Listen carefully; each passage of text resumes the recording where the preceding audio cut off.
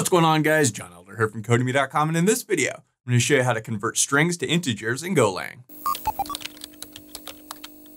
Alright guys, like I said in this video, we're going to convert strings to integers. But before we get started, if you like this video and want to see more like it, be sure to smash the like button below, subscribe to the channel, give me a thumbs up for the YouTube algorithm, and check out Codemy.com where I have dozens of courses with thousands of videos that teach you to code. Use coupon code YouTube50 to get 50% off memberships all my courses, videos, and books one-time fee, which is insanely cheap. Okay, like I said, in this video, we're gonna look at converting strings to integers.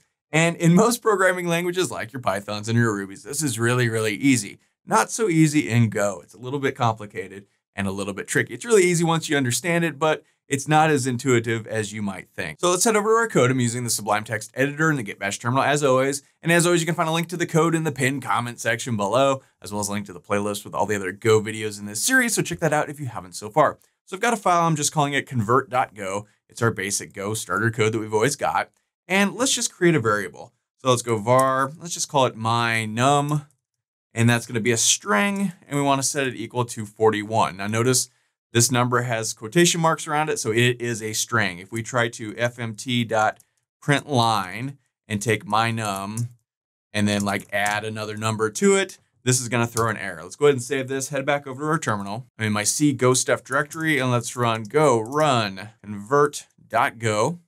And when we do, like I said, we get an error right away, mismatched type strings and untyped integer. So you can't add a string and a number. That's like having apples and adding four to it.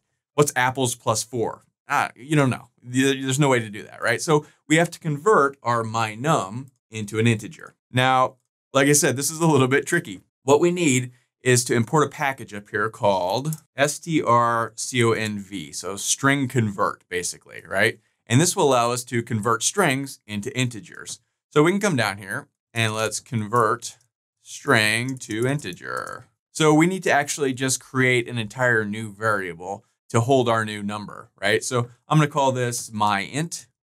And we also need to create a variable called error. You can call this anything you want. You could call it E, you could call it Bob. But this is going to be an error, and you'll see why in just a second. We'll also create that.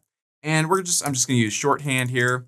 And let's go strconv dot a to i right? A to I, it's kind of weird. A stands for like a letter, the letter A, right? Strings are generally letters.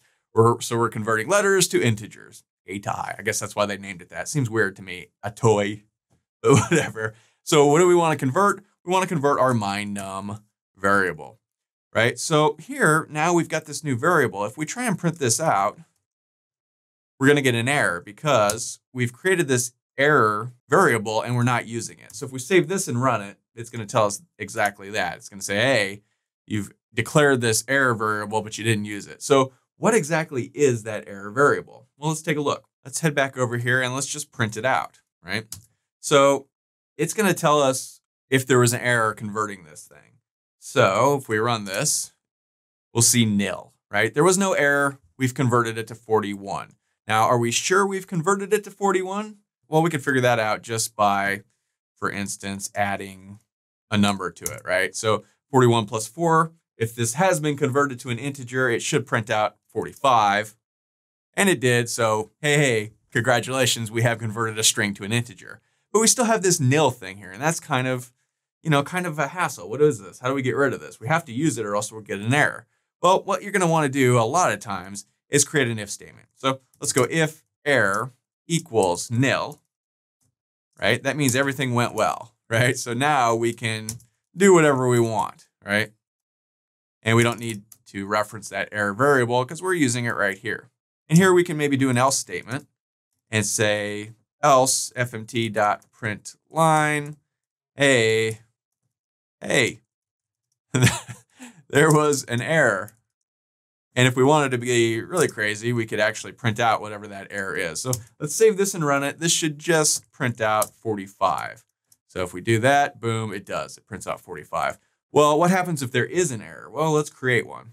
We can do that. Let's come up here and change our original string from 41 to Bob, right? You can't really convert Bob into an integer. Bob has no integer counterpart, right? That's like converting apples to four. You just can't do that. So this should throw an error, right? So let's run this thing. Hey, there was an error. And then here it will print out the error. strconv dot Atoi, A to I, parsing Bob invalid syntax, right? So, you know, this is a lot of code just to convert something to an integer. But that's how it works in Go. Everything is a lot of code, it seems like. but that's just how it goes. So that's all for this video. If you liked it, be sure to smash the like button below, subscribe to the channel, give me a thumbs up for the YouTube algorithm, and check out codemy.com where you can use coupon code YouTube50 to get 50% off membership. So that's access to all my courses, over 50 courses, thousands of videos, and the PDFs of all my best-selling coding books. Join over 150,000 students learn to code just like you. My name is John Elder from codemy.com, and I'll see you in the next video.